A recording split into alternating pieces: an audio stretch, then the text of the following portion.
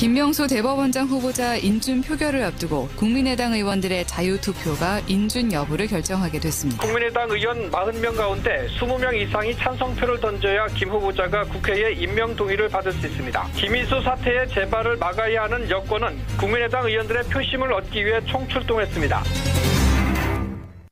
예, 김명수 대법원장 후보자 과연 국회 문턱을 넘을 수 있을까요? 오늘 오후 2시에 국회에서 임명동의안 표결이 진행됩니다. 더불어민주당과 정의당은 당론으로 적격, 자유한국당은 당론으로 부적격, 바른정당은 당론은 정하지 않았지만 부적격이 주 기류다 이렇게 전해지고 있습니다. 그렇다면 결국 이번에도 자율투표 결정한 국민의당의 40명 의원이 캐스팅 보트를 쥔 셈입니다. 과연 국민의당 어떤 선택을 할까요? 어, 법무부 장관을 지낸 분이시죠. 국민의당 천정배 전 대표 연결을 해보겠습니다. 아, 천정배 의원님 안녕하세요. 예, 안녕하세요. 천정배입니다. 예, 김명수 후보자에 대한 지금 국민의당 분위기 어떻습니까? 예, 아마 지난 그 김희수 헌법재판소장 후보자 예.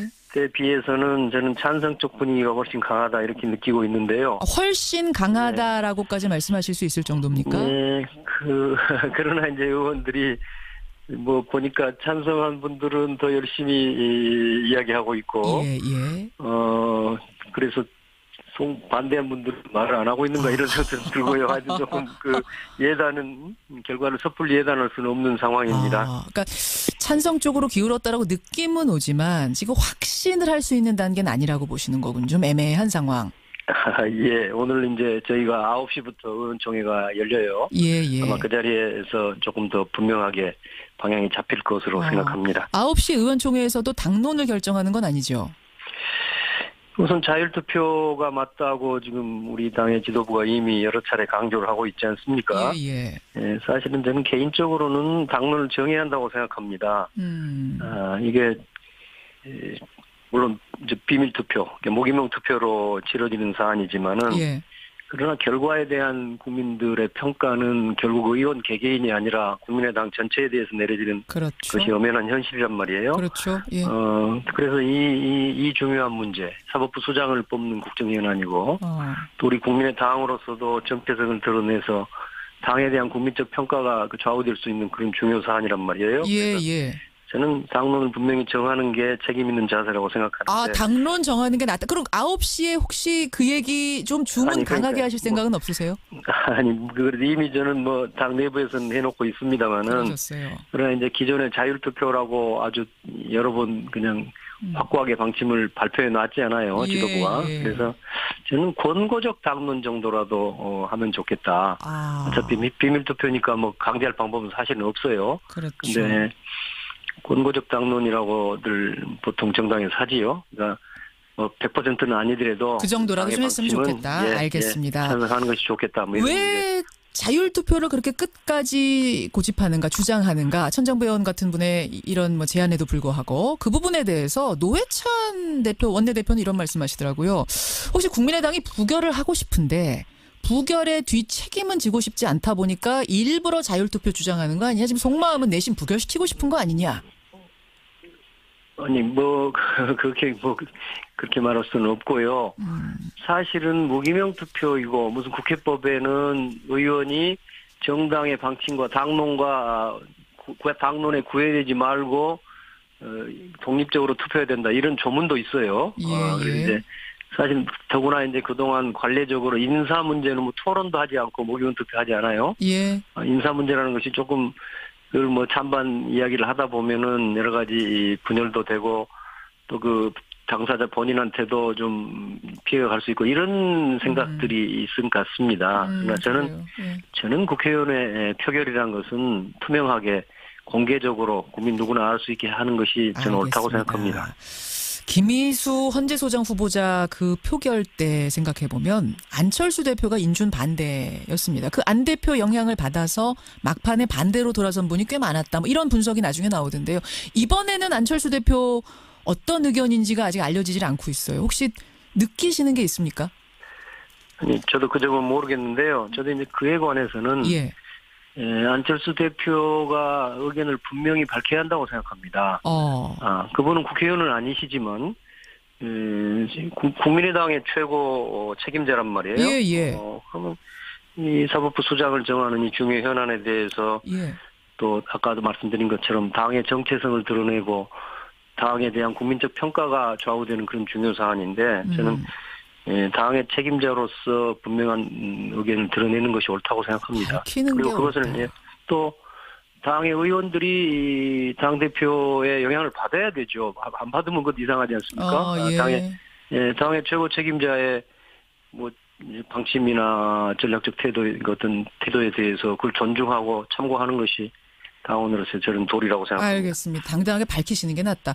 천 의원님 개인적으로는 그럼 어느 쪽이세요? 저는 찬성입니다. 찬성이십니까? 예, 저도 이제 뭐 저도 법조계 출신이지만 예. 그 김명수 후보자는 생면부지의 분이에요. 어 이제 예, 전혀 모르세요. 어, 예, 전혀 모르는데요. 그러나 지금까지 이제 청문회나 여러 가지 예, 나타난 자료들에 비추어 볼 때 그분은 우선 개인적이거나 도덕적인 하자가 전혀 없는 분 아닙니까? 예, 아, 도덕성 문제. 특별한 분 같아요. 청문회에 대게 나온 후보자들이 크고 작은 하자가 있는데 아하. 이분은 그저 문재인 대통령이 밝혀놓은 5대 무슨 그 하자에도 전혀 어, 아무 관계가 없는 분입니다. 저는 예. 그것만으로도 굉장히 훌륭하고요. 아, 그것만으로도 귀한, 정말 희귀한 사람이다, 이런 말씀이세요. 자기 관리를 철저하게 도덕적으로 한 사람이 다른 일도 잘할 수 있지 않을까요?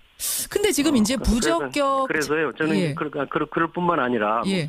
예, 사법부 이제 지금 중요한 대법원장의 자질은 뭐니 뭐니 해도 사법권의 독립을 잘 지켜내는 것 예. 그리고 사법 개혁을 잘 추진하는 것 아니겠습니까? 뭐그 그렇죠. 점에 관해서도 전 적임자로 판단하고 있습니다. 근데 부적격 당론 정한 자유한국당 입장을 좀 전하자면 김명수 네. 후보자가 대법원장이 되면 군대 내 동성애를 금지한 군형법이 위헌으로 결정될 우려가 크다. 이분이 동성애에 대해서 찬성 의견을 갖고 있는 분 아니냐? 이거 참 큰일이다. 이걸 걱정하는 거고요. 또 하나는 기수 문화가 무너질 거다. 이분은 사법연수원 기수도 낮고 심지어 대법관 경력도 없는데 대법원장으로 바로 올라간다. 이거는 질서를 흐트리는 일이다. 이런 얘기를 하는데요. 예, 뭐 첫째 저는 이제 자유한국당은 사법 개혁뿐만 아니라 대한민국의 모든 개혁을 반대하고 두려워하는 집단이지요. 어 그래서 그분들이 반대한다는 것은 사실은 역설적으로 이미 상당히 바람직한 후보가 아닌가 아, 그렇게. 이런 판단을 해봐야 그러면 자유한국당 되고요. 분들 들으면 굉장히 서운해하실 수도 있습니다만. 뭐 도리가 없지요. 어. 그렇게 행동하고 있지 않습니까? 근데 구체적으로 사실은 그 동성애 문제는 예. 자유한국당 때문에 제가 살펴본 게 아니라 예, 저도 개인적으로는 기독교인입니다만은 예, 예, 기독교 지도자들이 우려를 많이 하시고 계셔요. 예, 예. 그래서 그분들로부터 이제 우려를 전달받고 저도 주의 있게 살펴봤습니다. 네, 결론적으로 김명수 후보자가 동성애를 특별히 옹호한 판결을 내리거나 무슨 말을 하거나 그런 행동을 한 일은 없는 것으로 판단하고 있습니다. 어제 김명수 후보자 본인도 의견을 내놨어요. 나는 동성애에 대해서 얘기를 한 적이 없는데 내가 찬성을 했다고 하니 이게 영문 모를 예, 일이다. 예, 그 말이 맞는 것 같습니다. 예. 제가 그동안 저도 어, 어, 찾아보셨군요. 양쪽 자료를 다 봤어요. 어, 다 봤고요. 어, 특히 이제 뭐 직접적인 관련은 없는지 모르겠습니다만 양심적 뭐 병역 거부자의 대체 복무 문제, 예. 예, 그거 이제 그, 그 목사님들이 관심을 많이 갖고 계신단 말이에요. 근데 음. 그 문제도 어, 보니까 그 김명수 판사께서 그 법관으로서 여덟 건인가를 재판을 했는데 예. 모두 다 유죄 판결을 하셨더라고요. 무슨 위원 위원 제청한 것도 아니고. 아하. 어 그래서 그런 문제를 보면은 뭐 그 동성애 문제 등은 뭐 그 이제 사실은 과도한 우려다 이렇게 그 근거 없는 논리적 비약이라고 저는 일단 그건 본인이 있고요. 말한 적도 없다니까. 그럼 이건 어떻게 보세요? 사법연수원 기수도 아까 낮고 예, 대법원장 기수냐. 뭐 대법원 경력도 예. 없고. 사실은 그것이 이제 보기 나름인데요.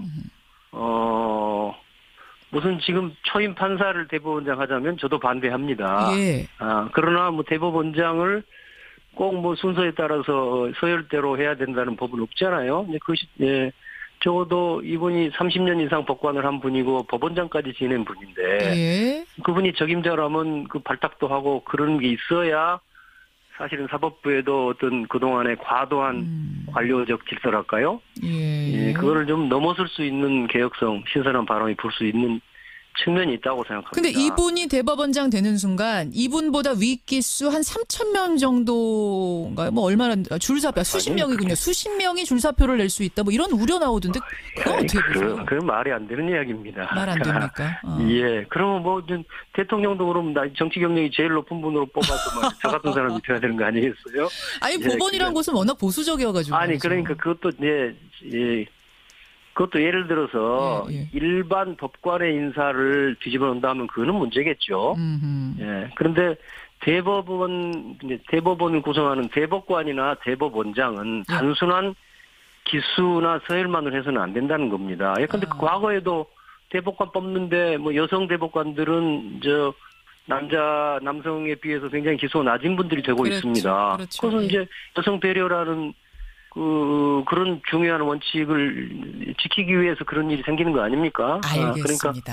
그런 점에서요. 이제 물론 뭐 보수적인 분들은 뭐 그 서열을 중시할 수 있겠지만 그러나 사법부도 어느 정도의 변화도 있어야 된다. 그리고 적임자라고 그러면 단순히 서열이 안 된다고 그래서 예. 배제할 이유는 없죠. 예. 천정배 의원은 뭐 강한 찬성, 나는 적임자라고 본다. 이렇게 하자 없는 사람 처음 보지 않느냐. 이렇게까지 강하게 주문을 하시네요. 하지만 국민의당 전체의 분위기는 아직 확신할 수는 없다. 찬성 쪽으로. 이렇게 예, 결론 내리겠습니다. 전 의원님 오늘 결과 보겠습니다. 고맙습니다. 예, 감사합니다. 국민의당 천정배 전 대표였습니다.